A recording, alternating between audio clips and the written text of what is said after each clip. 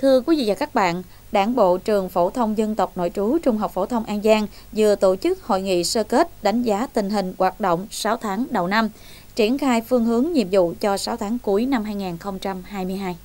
6 tháng đầu năm 2022, Đảng bộ nhà trường xác định lãnh đạo công tác tư tưởng chính trị là công tác quan trọng hàng đầu, chú trọng bồi dưỡng rèn luyện công tác tư tưởng chính trị cho đảng viên, cán bộ, giáo viên, nhân viên trong trường học thông qua việc phổ biến học tập và quán triệt các chủ trương, đường lối chính sách của Đảng, pháp luật của nhà nước một cách kịp thời, đầy đủ và thường xuyên. Kết quả 100% cán bộ đảng viên có tư tưởng chính trị tốt, không có đảng viên vi phạm 19 điều đảng viên không được làm mọi cán bộ đảng viên thấm nhuần tư tưởng, đường lối, quan điểm, chấp hành nghiêm nghị quyết, chỉ thị của đảng, pháp luật của nhà nước cũng như các quy định của ngành và đơn vị. 100% cán bộ đảng viên đều hưởng ứng tích cực các phong trào từ thiện như ủng hộ quỹ vì người nghèo, sống máy tính cho em, máy ấm công đoàn, quà Tết cho trẻ em, đền ơn đáp nghĩa, ngày vì người nghèo khuyến học. Tổng số tiền gần 140 triệu đồng.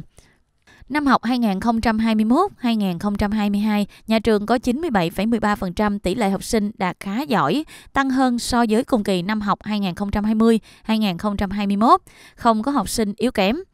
6 tháng cuối năm 2022, Đảng ủy nhà trường tiếp tục quán triệt và thực hiện đầy đủ các nội dung nghị quyết Đại hội đại biểu toàn quốc lần thứ 13 và các nghị quyết chỉ thị của cấp ủy cấp trên, của Đảng ủy đến toàn thể đảng viên – chú trọng công tác rèn luyện, bồi dưỡng tư tưởng chính trị, phẩm chất cách mạng, có quan điểm nhận thức đúng đắn khoa học, xây dựng lối sống trong sáng lành mạnh cho cán bộ đảng viên, quần chúng trong nhà trường. Tiếp tục thực hiện chỉ thị số 05 CT trên TVK của Bộ Chính trị về việc đẩy mạnh thực hiện cuộc vận động, học tập làm theo tư tưởng đạo đức phong cách Hồ Chí Minh về xây dựng đội ngũ cán bộ đảng viên thực sự tiên phong gương mẫu, có đạo đức cách mạng trong sáng, bản lĩnh chính trị vững vàng, đủ năng lực đáp ứng yêu cầu nhiệm vụ hiện nay năm 2022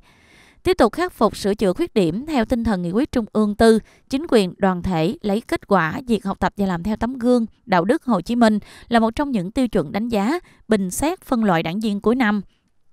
Lãnh đạo nhà trường thực hiện tốt nhiệm vụ năm học 2022-2023, chỉ đạo các tổ chức đoàn thể trong nhà trường hoàn thành tốt nhiệm vụ được giao.